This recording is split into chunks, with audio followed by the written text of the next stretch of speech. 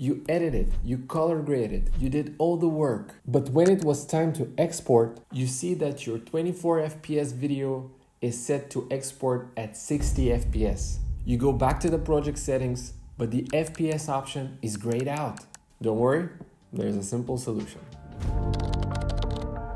Create a new timeline with Command N let's call it 24 FPS. And then what we have to do is uncheck this use project settings option, go to format, and then switch to your desired FPS. Copy your edit, go to the 24 FPS timeline, paste, go to delivery. And now, as you can see, you can export in the correct frame rate. Thank you very much for watching. Like, share, subscribe go check Recut. It's an amazing tool for auto removing silences from your videos, and I'll see you in the next one.